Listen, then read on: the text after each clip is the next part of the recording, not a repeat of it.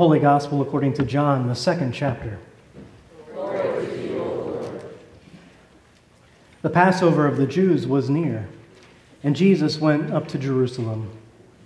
In the temple, he found people selling cattle, sheep, and doves, and the money changers seated at their tables.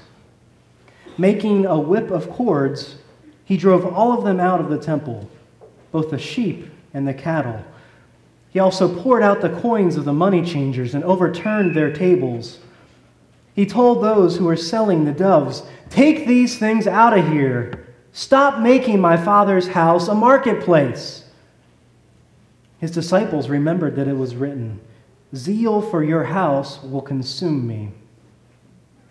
The Jews then said to him, What sign can you show us for doing this?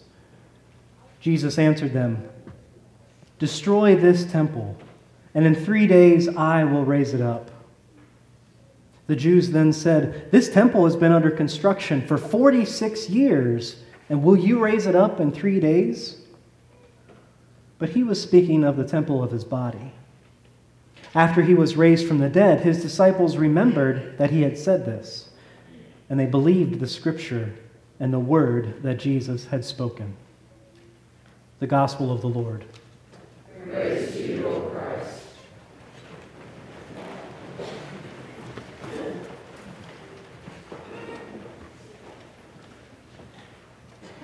So I know that you know that I like to ask questions. I also know that many of you like to ask questions. So we've been doing just that. We've been asking questions over these past many weeks. And so I said last week during that season of Epiphany in our worship, we asked ourselves, who is this guy, Jesus? What do all of those things from the Christmas story and the Epiphany story and his early ministry have to tell us about his humanity or his divinity or both? And why does that matter? Well, that exploration led us into the season of Lent, where now last week I felt that we were drawn to another question who are we? As children of God who have been washed in the baptismal waters, who have been named and claimed by God, and called to be faithful disciples of Jesus, having been urged to take up our crosses and follow, what does that mean for us? In this life that we've been called to live, who are we? Hopefully, that got us digging a little bit and thinking about who we are as individuals, because today I believe we're now called to think about who we are as a collective we, as the body of Christ, as the church. If Jesus walked through these doors on any given day, as we gather for worship or for fellowship or meals or for work or service, would he look around here and say, yeah, this is what I want for my followers? Or would he take one look and get red in the face and start flipping over tables and chairs and pews and say, What are you doing? This isn't the church.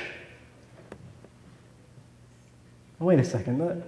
I have to get this straight. In the Old Testament reading, God has jealousy issues. And now in the New in the Gospel reading, God and Jesus has anger issues. I mean, is that what we're hearing? In Exodus, we heard God say, You shall not bow down or, or to or worship other gods or idols, for I, the Lord your God, am a jealous God. I punish children for the iniquity of their parents, and on and on. And, and now, here's Jesus flipping over tables and clearing out the temple. What's going on? What always helps to know who God is so that we can know more about who we are. So Let's dig into this gospel story a little. This cleansing of the temple story is, is one of those stories in the gospels that's actually recorded in all four gospels. But what's interesting about this one is that in those other three gospels where it's told, in Matthew, Mark, and Luke, Jesus flipping over the tables and clearing the temple happens at the end of his ministry, just before he is arrested and sent to his death. It's almost like in those stories, this was the culmination of Jesus' ministry. Have you not heard or believed anything that I've said while I've been here with you? Come on. And this angry outburst is like that straw that broke the camel's back when it comes to those authorities being fed up with Jesus and wanting him to be stopped. And it's after he flips those tables and clears that temple that they start looking for him to arrest him. But when we hear this story today from John's gospel, this whole thing that Jesus does occurs at the beginning of his ministry. It's the only gospel to record it that way. All right, so what?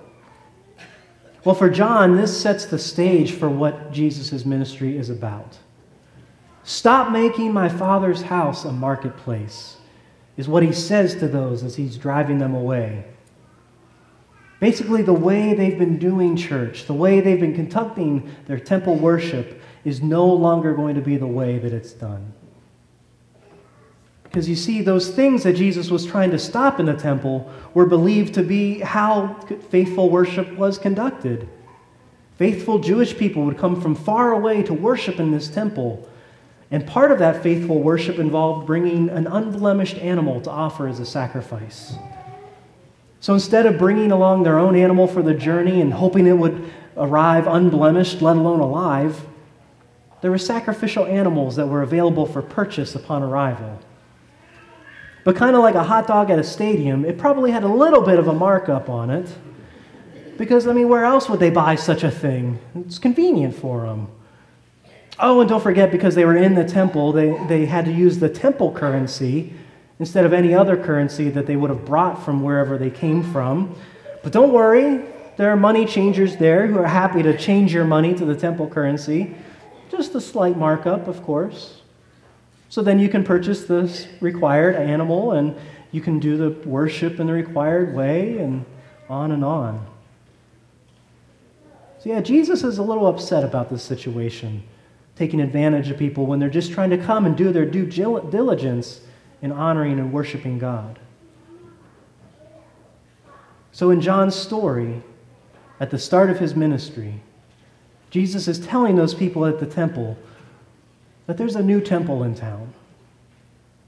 No longer do they have to go to this one place and purchase these prescribed items and, and offer their worship and sacrifice in this certain way. No, their new center of worship, their new temple, is Jesus.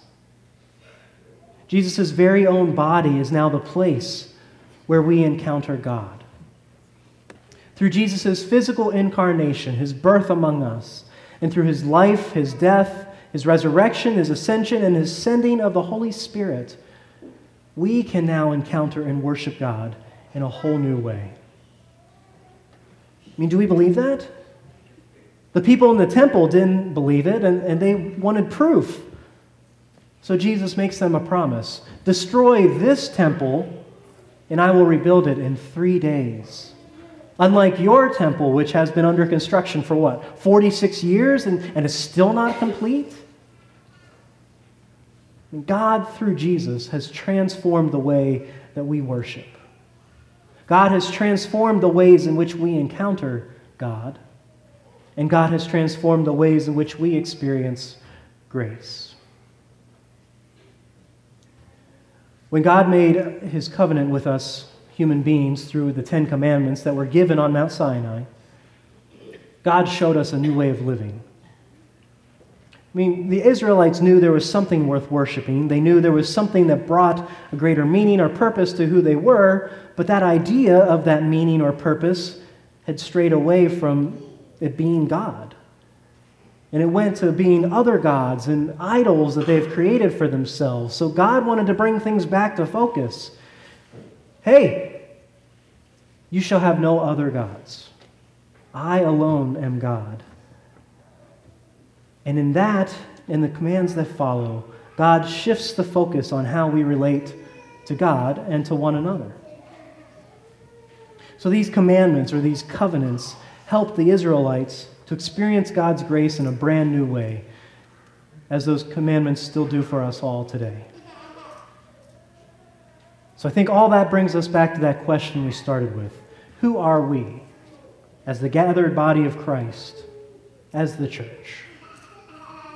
Are we making other things into our idols instead of fully focusing our worship and adoration on God? Are we cheating people who walk through these doors who are expecting a real experience of God? Are we taking advantage of their vulnerability for our self gain? Or are we doing what God did through those commandments on Mount Sinai, or what Jesus did in overturning the tables of the temple and offering a new living embodiment of God's grace to the world? I know we need a shakeup every now and then. We saw that in the Reformation that happened 500 years ago. Maybe we saw that again when we celebrated the anniversary of that Reformation a few months back. I mean, maybe that's what we should be thinking about as we approach our 100th anniversary of this church building, so that we aren't worshiping this temple made of stone, but rather using this temple to worship a living God who showers grace upon us. Maybe this is why we're hearing these stories again during our season of Lent. It's our own opportunity to turn over our own tables, drive out the greed and the idol worship that we find ourselves trapped in, and once again be an expression of God's grace for ourselves and for those around us. I continue to hear our lament as we feel that we feel as though God is light years away from this world. The anger, the violence, the greed, the death that fills this world in our lives is, is just overwhelming. God seems nowhere to be found. And yet, in the very next breath, we often still continue to confess that God is present and working and knowing and loving. Somewhere in between these things, something is missing. Maybe that disconnect is us. And the Holy Spirit, as Jesus promised before he ascended, is in us. And God is here, present and active. And we, you and me, are called to embody God's grace so that together, as the church, as the body of Christ, we can bring our own living and tangible form of God's love and grace, not only to ourselves, and not only to one another when we, when we need it and when we ourselves feel overwhelmed, but also for the whole world. Thanks be to God. Amen.